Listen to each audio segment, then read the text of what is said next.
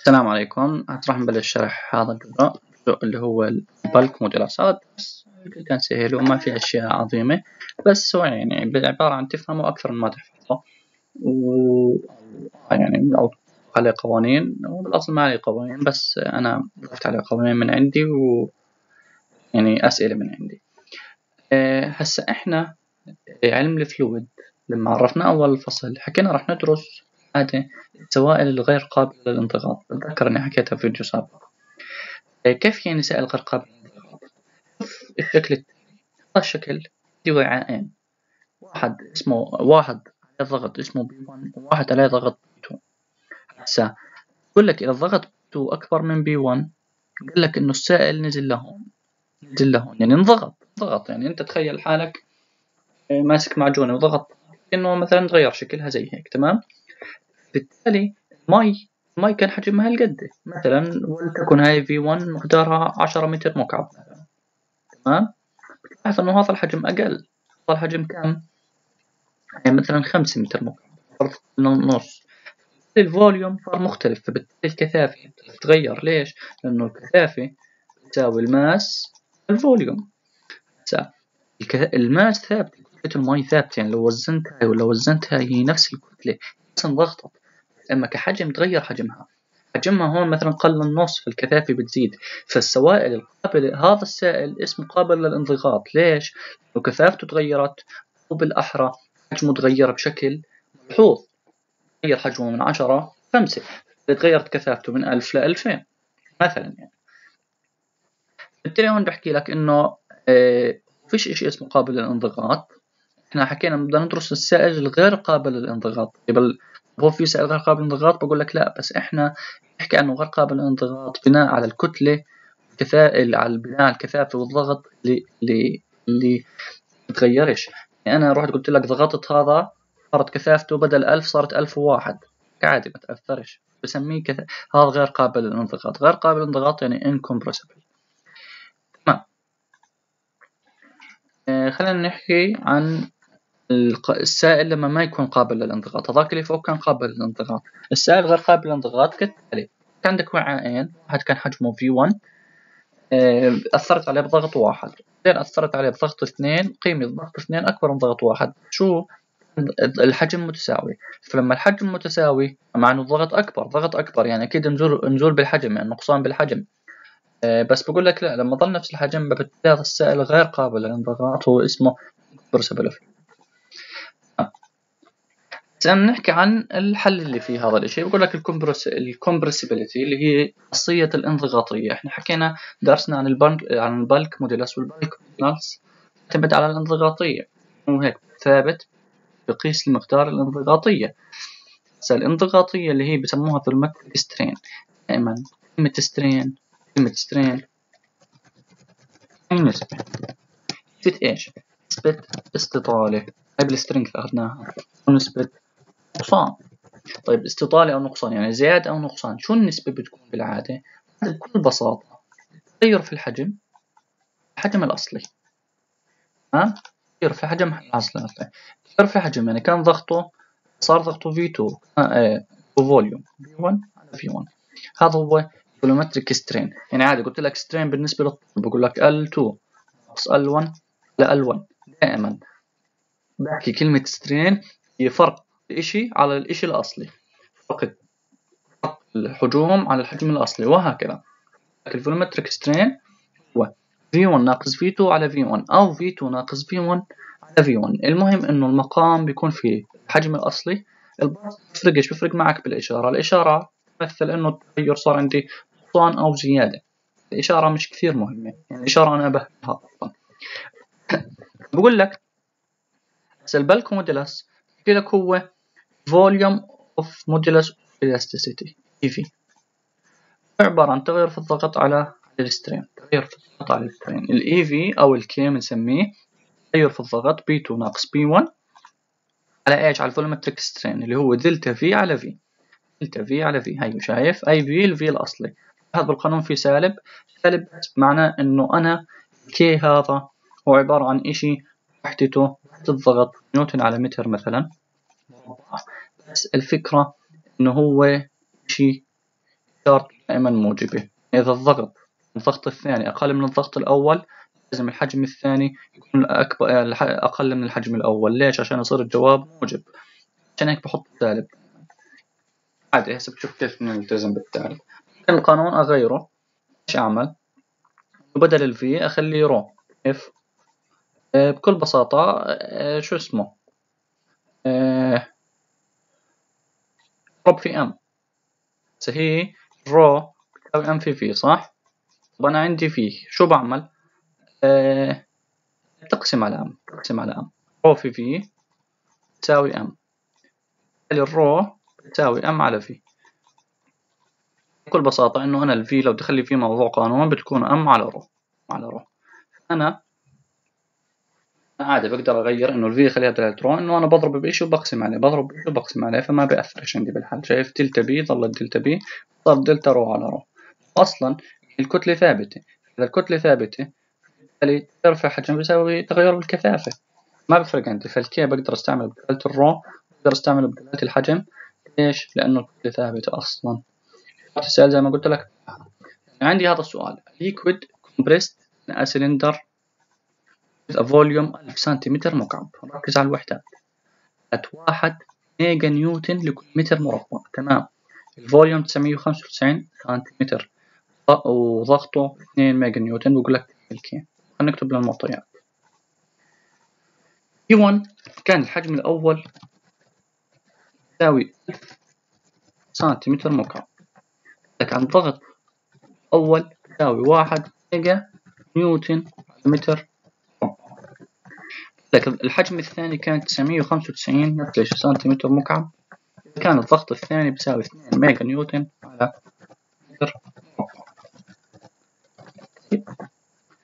بدك تتأكد إنه الحل صح أو إنه المعطيات صحيحة. هي ما في تأكيد للمعطيات أنت. لكن سؤال بالامتحان خلص أمورك تمام. بس خلني أنفهم. حجمه حجمه كان واحد. لما كان عليه ضغط واحد بس حجمه صار أقل. ما أنا ضغطت ضغط ضعف. ما أنا ضغطت مقدار قليل حجمه كذا. ما ضغطت مقدار عالي صار حجمه كذا. إجباري الفي 2 لازم تكون أقل من في 1 لأني أنا مأثر عليها ضغط أكبر. يعني لو قال لي في 2 مقدارها نص مستحيل هذا الرقم يطلع. لازم يطلع معي ألف وإشي أكبر. أنا ضغطت بضغط أقل أكتبها. إذا ضغطت ضغط أقل لازم الحجم أكبر. ضغط ضغط أكبر حجم أقل. يعني هذا سؤال استنتاجي ممكن. زيادة الضغط تساوي نقصان في الحجم أكثر. تمام. لك وجد لي K شو قانون ال K قانون ال K ما إحنا خلص هنا delta P ال volumetric strain اللي هي delta V على V. في ال V الأصلية. هسا الوحدات. ركز على الوحدات. هسا الوحدات كثير كثير مهمة حسب إيش هو مطلوب يعني ال K بأي وحدة. إيه خلينا نشوف أول إشي إنه الوحدات شو بدها تأثر. ال volume volume يهمك الوحدات. تسألني ليش؟ بدك delta V على V يعني سنتيمتر مكعب سنتيمتر مكعب. يلغوا بعض. أنت بقانون ال K فيش داعي تحول وحدات. تحول حول بتكاش بلاش. delta P P 2 ناقص 1 P 2 كم؟ ميجا نيوتن يعني 2 10 قوة 6 ناقص 1 كم؟ 1 ميجا نيوتن يعني 1 في 10 قوة 6 delta V V 2 ناقص V 1 هي 9 9 5 ناقص 1000 إيش؟ قالوا الحجم الأصلي اللي هو 1000 هذا الجواب راح يطلع سالب. ليش؟ إنه هاي أكبر من هاي أقل من هاي فبحط سالب. هناك القانون بصير فيه سالب. هاي ملخص السالب. في داعي للتحويل أنت المفروض تحكي آه والله هاي 10 قوة سالب 6 10 قوة سالب 6 هاي 10 قوة سالب 6 أصلا أصلا بيلغوا بعض يعني خذ العشرة سالب 6 المشترك بيطلع معي بالمقام. فبيطلع معي الجواب هاي أنا كاتبه. الجواب معي 200 ميجا باسكال. هي 200 ميجا نيوتن على متر مربع. هي النيوتن على متر مربع لحالها باسكال. الميجا هي ميجا باسكال. فوحدته بتكون بالخيارات 200 ميجا باسكال 200 جيجا باسكال 200 باسكال. فأنت بدك تعرف الوحدة شو هي. لما أنا عوضت لما أنا عوضت هون عشرة قوة ستة يعني ميجا مليون يعني الميجا هي نفسها مليون. طيب عندي مثال ثاني. Find the bulk modulus of elasticity. بده ال K ف liquid pressure 150 ضغط 150 psi. يعني هذا نظام الباوند والفيد حجم 10 فيت. يعمل لي volume reduction 0.02 تمام. قال لي P1 خلينا نكتب المعطيات. P1 تساوي 150 psi يعني باوند انش تربيع الوحدات جدا. قال لي V1 تساوي 10 فيت تكعيب قال لي volume reduction volume reduction شو يعني volume reduction اللي هي الفرق بالضغط الفرق بالضغط الفرق بالحجم قصدي اللي هي delta V يعني هو أعطاك delta V delta بين قوسين delta V وتساوي قال لك هي إيش؟ قال لك المعطيات 0.02 0.02 في تعيب لاحظ إنه أعطاني لها وحدة. لما أعطاني لها وحدة فهي إجباري delta V لو ما أعطاك لها وحدة بتكون هي ال strain. جاب لك سيرة P 2 لا. اعتبرها صفر. فبالتالي K تساوي 2 صفر ناقص P 1 اللي هي 150 على delta V على V delta V point O 2 فيت تكعيب. وال V هي كم؟ فبالتالي فيش داعي احول لو في سالب برا صار عندي الجواب 150 في 10 على point O 2 بيطلع معي الجواب. آه، هاي بيطلع معي الجواب هالقد. معي الجواب هالقد أو 75000 SI آه، شو اللي صار عندي؟ صار عندي إنه لما تحل هاي إني أفتح لك آلة حاسبة سريع يلا شوف عندي آلة حاسبة وأنا حكيت 150 ضرب 10 تقسيم point O 2 يعني 75000 75000 إيش؟ 70000 إيش؟ 150 هاي شو وحدتها؟ PSI طيب وهاي قديش وحدتها؟ ما إلها وحدة unitless جواب 75 P ألف SI طيب إذا قال لي بدي الضغط بال pound كل feet تربيع اللي هي أو pound أو PSF PSF أو pound لكل feet تربيع بدي أحول. بدي أحول pound لكل إنش تربيع. بدي أخليها pound في التربيع شو بعمل؟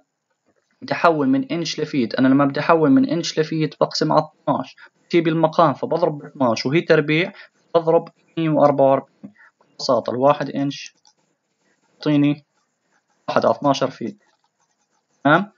هاي بالمقام. لما تكون بالمقام يعني بقسم. يعني زي كأني ضربت في 12 زي كأني ضربت في 12 أنا يعني عكس الطبيعي بضرب 75000 في 144 ليش 144 لأنه تربيع مش تربيع. ترجع للآلة حاسبة بحكي 75000 144 بيطلع معي. بيطلع معي الرقم هذا هو نفسه. وحدة باوند لكل تربيع السؤال اللي بعده. السؤال اللي بعده. ال K 2.9 جيجا باسكال جيجا باسكال يعني 10 قوة 9 2.2 10 قوة 9 هذا إيش ال K is the pressure is required to use volume by by 0.6% شوف لك 0.6% يعني بالمية.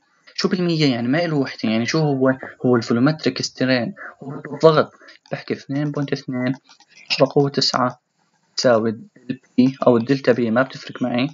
على 0.6% 6% يعني تقسيم 100 تقسيم 100 أول شي percent معنى إشارة كلمة percent يعني قسم على 100 وثاني شغلة ما قال لي percent ما قال لي percent يعني إنه هي strain لاحظ هي ال strain هي مش delta V لا هي ال strain كامل. فالفرق لما تسمع كلمة reduction شوف قال لك هون reduction هون قال لك reduction حط delta V سالب قال لك reduce حكى V على V سالب.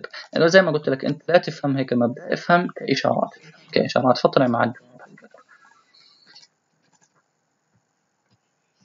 إيه بقول لي find the change in the volume. إذا ال volume الأصلي كان واحد في التكعيب صار الضغط عندي 300 بقول لك كم الضغط؟ إذا كم الضغط الثاني؟ إذا عندي ال bulk modulus 325000 بكل بساطة 325000 تساوي الضغط delta P على delta V على V. هو بده ال delta V. ال delta V معي سالب 0.00093 نو.